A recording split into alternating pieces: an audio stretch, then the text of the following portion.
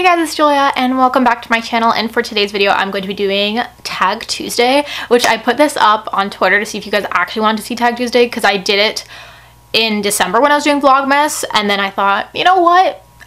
I should do the tags I'm tagged in because why not? And I do like doing tag videos every now and then but so you guys also most of you guys said you wanted to see Tag Tuesday so that's what I'm doing and today I'm going to be doing the Greatest Showman book tag. This was created by the Irish Reader. I'm so excited and I filmed so much today so if I seem really like hyped it's because like I'm like on like I think I've had too much coffee. It's just too much going on. so if I seem like really hyper and this is your first video from me, I'm not always like this cool. But this was created by Kevin from the Irish Reader. I really like his channel, so I'll have his original video down below. I believe there was another original, but like this one's focused on the actual song and the soundtracks, you know. I was tagged by Peter from Peter Likes Books, which who I love and I was so excited because like if he didn't tag me to do this, I was gonna do this tag anyways.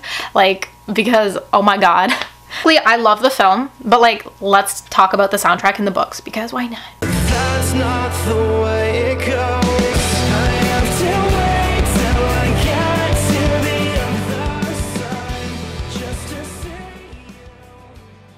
Is The Greatest Show.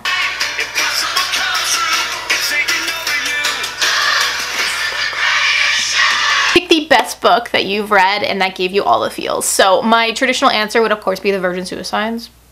But today I'm going to be mentioning Warcross by Marie Lu. This is a sci-fi virtual reality kind of book and it's super awesome and it came out like last year and I'm just I just really want this book to get so much more hype than it has. Like it already has a good amount of hype but it is so good and I loved it with every fiber of my being.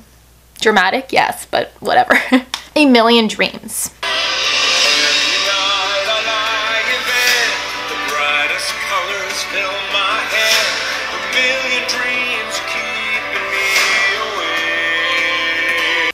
Pick a book that left you dreaming about it after you finished it. And for this, I have The Girl Who Loved Tom Gordon by Stephen King.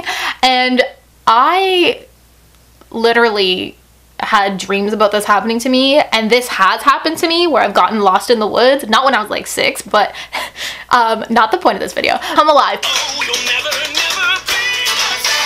Pick a book where a character finally comes to accept themselves. And for this, I have Ramona Blue, which I love so much. It's by Julie Murphy, and it's about a girl just figuring out her sexuality. She's always identified as a lesbian, but through some course of events, she starts to doubt that and if she maybe labeled herself too soon.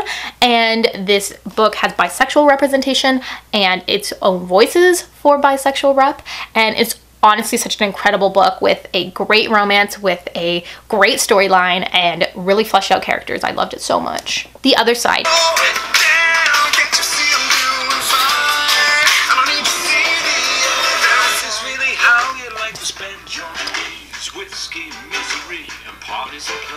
A book slash character that changed your opinion on them. So I don't know if this is for the worst or for the better, but I'm going to say for the worst.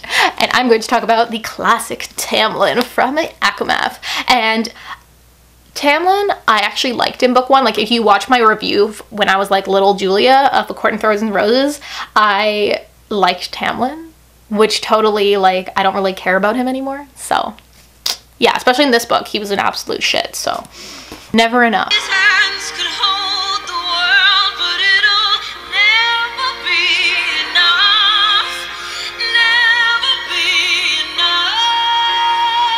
author or book series you cannot get enough of. Of course I have to go with the obvious Stephen King. This is me.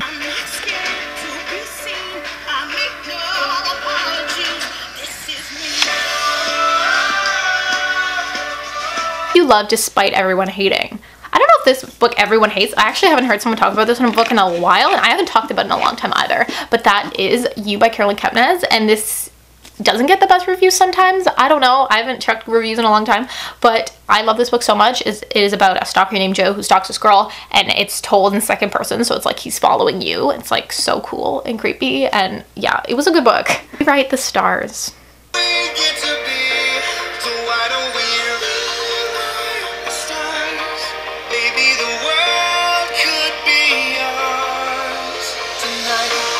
OTP that overcomes a lot to be together.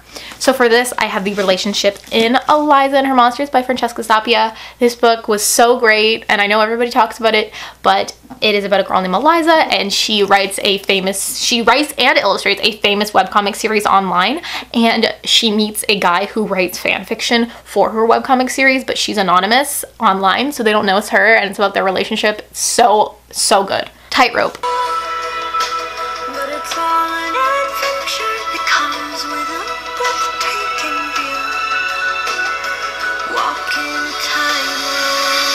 An author slash book series that gives you trust issues.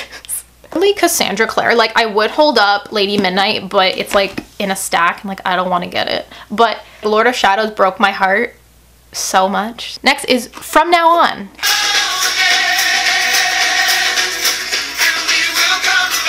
What a bop. A book you've ignored for so long and finally need to read. I have Everyday by David Levithan. I've owned this for so long and actually on the whole duology, all I know is like this person like can go into a different body every single day and yeah, I haven't read it yet, but there's gonna be a film for it soon, I think. So yeah, so there you guys have it. That was the the Greatest Showman book tag. I'm going to be tagging Dylan, which I know Peter tagged him, but I'm gonna be tagging him too, just in case he hasn't done it yet. Um, and because I know he loves the film. I don't know who else to tag. I don't know who else loves the film, but like even if you, well, no, you gotta love the film. Okay, I'm kidding. Thank you guys so, so much for watching. I'll see you super soon. Bye.